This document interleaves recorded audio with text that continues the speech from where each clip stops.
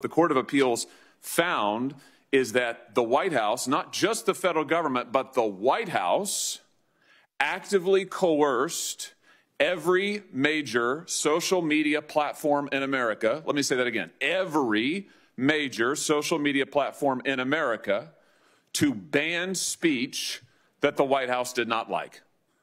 What are we talking about here?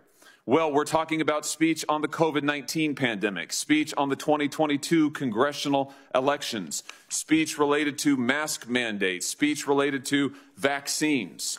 What did the White House do? Well, over a period of years, they met with on a regular basis the leaders of social media companies and demanded that the speech they did not like be taken down.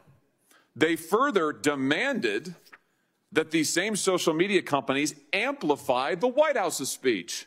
Amazing.